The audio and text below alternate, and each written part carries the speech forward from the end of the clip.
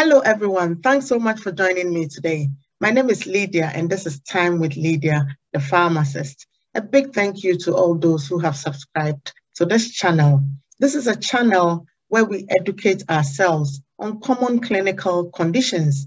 So if you're new to this channel and you want to learn more about your health, then please hit on that subscribe button and also on the notification bell so you don't miss anything that I upload. Today, I'm going to be spending some time with you talking about a very interesting topic called menopause. Menopause is when a woman stops having periods and is not able to get pregnant naturally. It starts by your period becoming less frequent for months, sometimes years before it stops completely. It is a natural process that occurs with aging and occurs in women of age 45 to 55 years. The question now is what causes menopause? The ovaries form part of the female reproductive system. They are responsible for two things. One, they produce and release eggs for fertilization. And two, they produce two types of hormones, estrogen and progesterone. As part of the natural process of growing up, the ovaries at some point stop functioning, so no eggs are released and no hormones are produced. This is when menopause occurs. A woman will reach menopause when they have not had a period for at least one year. Menopause can occur in various ways. There's what we call premature menopause. This occurs at any age at all, and there is no clear cause. But sometimes it can be caused by chemotherapy, radiotherapy, or a surgery carried out to remove the ovaries.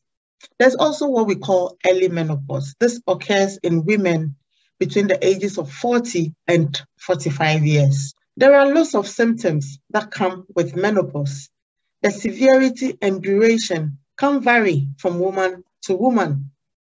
And these symptoms can start a few months or years before menopause and can continue sometime afterwards. Averagely, symptoms can last for about four years after the last period. And in a few women, it can last for 12 years.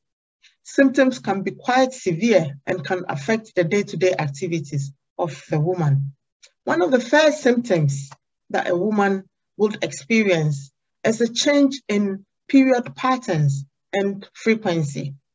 This can occur as a light or heavy period, occurring every two to three weeks, or not having periods at all for months, and then the period will eventually stop. You can still get pregnant during the transition. So if you don't want to have any more children, then use a contraception that is appropriate for you. Amongst the symptoms is hot flashes. This is a sudden feeling of heat on the face and neck associated with sweating. This can occur occasionally or can occur frequently. And there are some things that can trigger hot flashes. This includes alcohol, spicy food, high temperature, smoking, wearing thick clothes, stress, and anxiety. Sometimes certain medications can trigger a hot flash. Night sweats is a common symptom and this is as a result of hot flashes occurring during the night. This brings about a difficulty in sleeping. There's also headaches and concentration and memory problems. Mood changes can also occur. Vaginal dryness is also very common, and this is characterized by soreness and itchiness around the vaginal area there's also a discomfort during sexual intercourse. There is also a decrease in sex drive. There is also a decrease in muscle mass, and there can be joint stiffness as well. You can get recurrent urinary tract infection, and all these are as a result of a decrease or no estrogen at all in the body. There can also be an increase in the risk of developing weakness in your bones. There are things that you can do to help with the symptoms. let's talk about what you can do to help with hot flashes and night sweats. You can wear light clothes and keep your room cool by using the electric fan.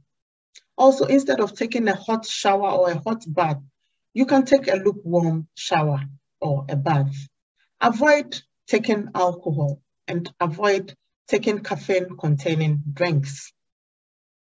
Also, you can sip cold or iced drinks to keep your body cool. There is also hormone replacement therapy that you can get from your doctor. These come in the form of tablets, patches, implants, and what these medications do is they tend to release estrogen into the body. So then all these symptoms do not occur. To manage vaginal dryness, you can buy vaginal moisturizers from the pharmacy. There's also lubricants that you can buy. Also, the doctor can prescribe estrogen creams, and these are very good in the management of vaginal dryness. And to help maintain your concentration and keep your memory sharp, try to read books as much as you can.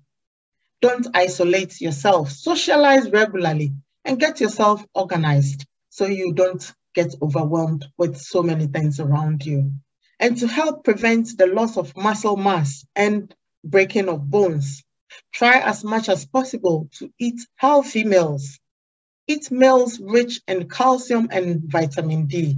Fish, broccoli, yogurt, and low-fat milk are a very good source of these vitamins. If you think your meals are not giving you enough of these, then you can take vitamin D and calcium supplements. Also exercise regularly, at least 30 minutes exercise three times a week would be very good. If your sex drive is affecting your relationship, then seek medical help. Also, if you suffer from low mood and anxiety and you think it's getting worse, then there's a need to make an appointment with your doctor and have a word with them. There are various things that can be done for you. And sometimes these things are non-medicinal. There's what we call cognitive behavioral therapy.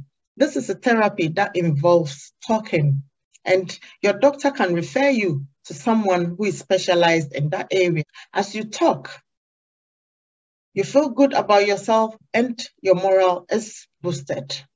Don't stay and suffer in silence. There's help out there for every single condition. Some people also go for natural remedies. These preparations help a lot of people.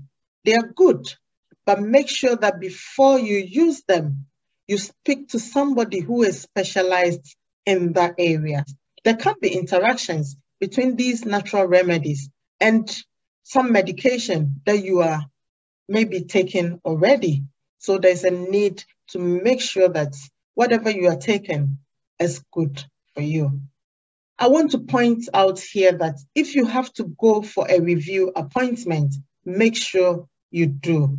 Because at this appointment, the doctor is going to have a look at the medication that you are taking and assess whether it's helping with your symptoms or not. They would also find out whether there's a need to continue this medication and whether you are suffering any side effects at all. Also, your blood pressure would be checked and your weight would also be checked.